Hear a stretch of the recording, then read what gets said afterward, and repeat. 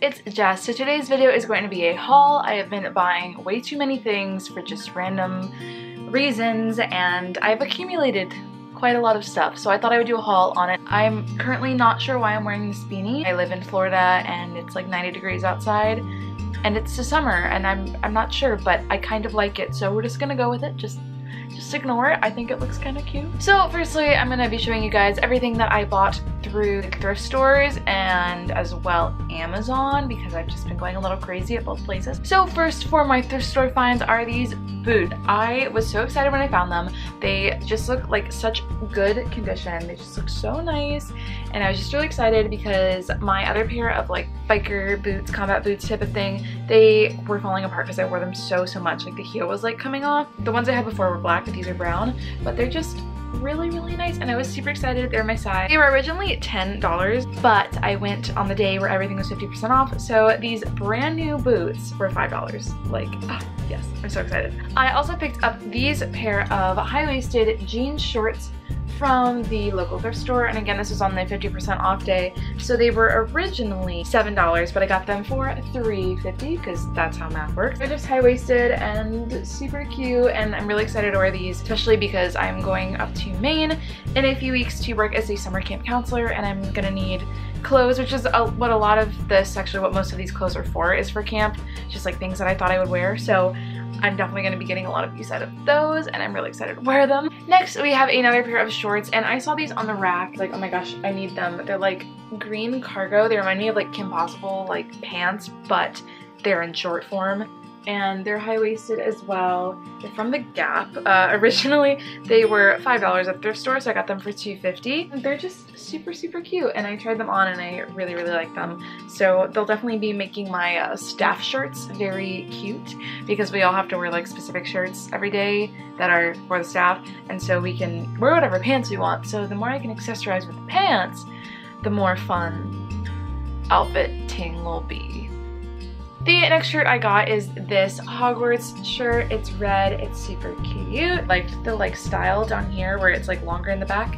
So it just seems like very flowy. I've been trying to find like a red shirt because I, I realized I don't have any red shirts and I really wanted a red shirt and I can never find a style that I like of the shirts, like the red shirts at any thrift stores that I go to for some reason. I was looking through the red section and I found this one and technically it's a red shirt but like I still want like just a plain red shirt. Still have not been able to find it but I did find this Hogwarts shirt which is pretty good enough. I'm, I'm okay with it for now. I've been collecting Harry Potter shirts apparently so that was something. The next thing I got was this purple plaid. I, I mean it's a shirt but it's more of like a cardigan sweater thing. It's just purple and plaid and the thing with like camp is that everyone ends up wearing like plaid shirts over their camp, like their staff shirts just as a camp thing. That's just what happens and they're warm and so it like keeps you warm during the mornings when it is pretty cold up in Maine. I didn't have a flannel last year and everyone else had flannels and I really wanted one so I looked in the flannel section of my thrift store. It was Salvation Army I believe.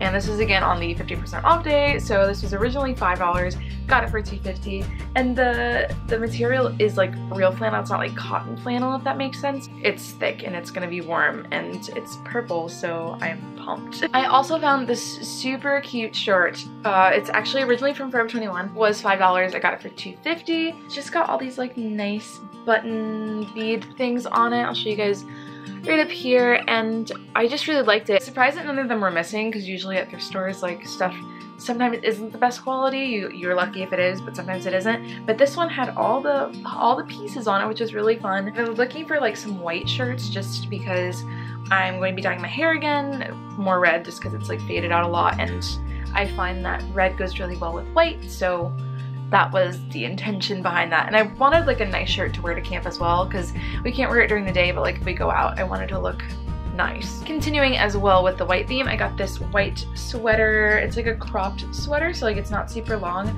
but it is very flowy. Originally $1.99, so I got it for a dollar. This was a dollar, like I love, I love thrifting. It's my favorite thing. It's nice. I, I don't really have much else to say about it. It'll be nice to wear during the first week when we don't have to wear staff shirts and I want to look cute.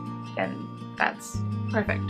The last clothing thing I picked up is this like green. Technically it's green. It's more like a turquoisey green if that makes sense. It actually matches what I'm wearing right now. Exactly. That's weird. It was super baggy and I really like the design on the front here and it just like seems very warm and comfortable. It's from Croft and Barrow. I don't know if that means anything to anybody, but it seems fancy. I don't think this one had a price tag on it, but I believe when they scanned it, it, it said it was $10, or so then I bought it for five, which is weird if this was that much, but the other ones weren't, but it was still like five bucks, so I'm, I'm okay with it. But that's all of the clothes that I bought. So now we're gonna move on to books that I got also from thrift stores. I've been trying to start like my own book collection because I realized that like I had a lot of books and then I just ended up giving them away, so I've been trying to like make another collection, if that makes any sense. And so I picked up some books to add to that collection as well as to bring to camp because I do a lot of reading up there when I'm bored because you can't have cell phones. So I thought I would prepare myself. This is what I found. The first book I bought is City of Dark Magic by Magnus Flyte. I don't believe it's a YA novel. I think it's just an adult novel, but the summary sounded very interesting and the cover was gorgeous. Like, can we admire this? Like, oh, it's so pretty. It's like luminescent. I love it. Basically, a music student called Sarah Weston goes to the Prague castle to work in Prague. She has no idea how dangerous her life is about to become. Something about a cloak and dagger chase with a handsome time-traveling prince, a 400-year-old dwarf, and a US senator who will do anything to keep her dark secrets hidden. So that sounded super entertaining, so I'm gonna bring this with me and read that. Next, I picked up the book Eve by Anna Carey, and this one just seemed very interesting, and again, I'm so attracted to like beautiful covers. There's a redhead on the front, so I won't say I picked it up just for that reason, but it definitely helped with my decision making. This takes place in a dystopian society where this girl, do you have a name? It's Eve. Her name's Eve.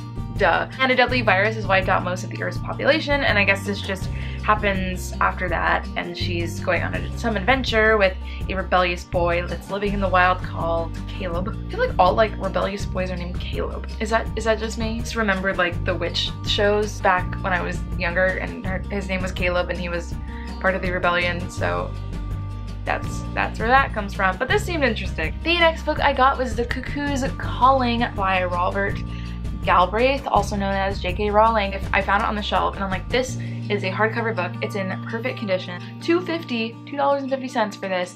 And I've been meaning to read it because it's J.K. Rowling and why not? Found it and I was like, yes, I'll definitely buy this. This will be very fun to read when I'm looking for things to read. The last two books I got were A Great and Terrible Beauty as well as Rebel Angels, both by Libby Bray. This is a series, I believe there's a third book as well, but I've heard really good things about it and I found it at the thrift store. I originally found this one and I'm like, oh, I've been meaning to read that because I've heard good things about it. And then I picked up this one because I thought that it looked pretty. There was also a redhead on the front and I realized that this was the sequel to this one so I got both. And I think they were like a dollar each so that definitely helped. But I'm excited to read these and these are really light so they'll be good in my suitcase to bring up to camp with me. So the last things I got were from Amazon. We'll finish off this video with these because this video is getting very long. Um, I'm gonna have a lot of editing to do. First thing I got was a new tripod and this is the Manfrotto tripod. It was like $21 I believe. It's for my camera that I'm filming on right now, my vlogging camera slash my everything camera. I got this one because I bought the Joby, like the Gorilla tripod first. It's the one that like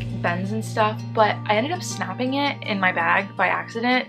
And so like the camera like just did not feel secure on it anymore. Like you could just basically like very slightly like take the camera off and that's not how it's supposed to work.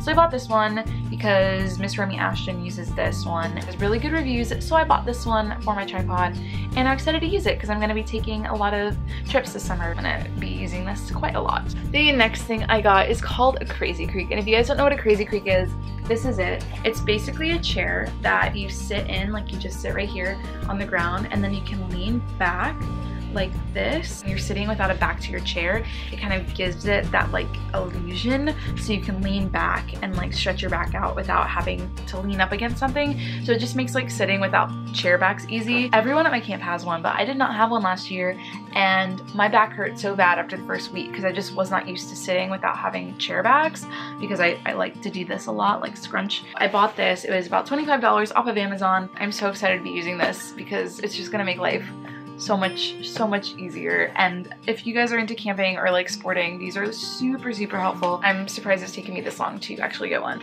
And the last thing in today's haul is the most exciting of all, and that is my new Blue Yeti microphone. I have been wanting a nicer USB mic for the longest time. My first USB mic was bought from Sam Ash, which is a store down in Florida, and I got it like eight years ago just because I was like, I'm gonna record YouTube videos of me singing, which I, I have done. So I I got use out of it. The noise in the background was like a lot. There was a lot of white noise. You could hear a lot of things in it. It just like wasn't a very good quality microphone. It was when I bought it, but like after years of use, obviously technology's gotten a lot better and expectations of myself have gotten a lot better. So I decided to upgrade this past week and get the Blue Yeti. And this is just such a nice microphone. I've already recorded some stuff on it that I'll be posting later, but it's just so nice. This was $110 because I got the refurbished version, which means that it wasn't brand new. Someone else had it before and they returned it, but there's absolutely nothing wrong with it. It came in the original packaging, like I basically just saved $20. I was super happy about it and it's got all these like controls on it. You can adjust the volume. Let's turn it on mute and this is the front side. And then if you look at the back, you can adjust what type of thing you're recording. So they have different recording styles depending on if, if it's just you singing or if there's multiple people around the mic. So that's super, super awesome. And you can also adjust the gain, which I have very, very low because I sing very, very loud. So I had to adjust the gain. That is everything in today's haul. Thank you guys for watching. I will be posting a lot more videos in the next coming weeks because I have a lot of free time until I go up to camp. So expect more videos from me. If you guys have any questions, leave them down below. Please remember to subscribe to my channel if you're not already. Like, subscribe, do the thing. I need to work on an outro because I don't know what I'm doing. But thank you guys so much for watching and I'll see you guys later. Bye.